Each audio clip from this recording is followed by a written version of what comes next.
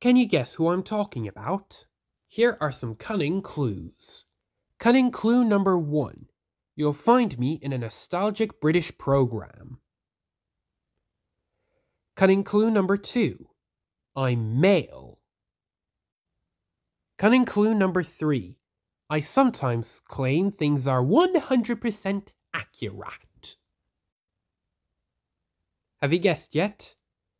Yes, of course. It's Rattus Rattus from Horrible Histories.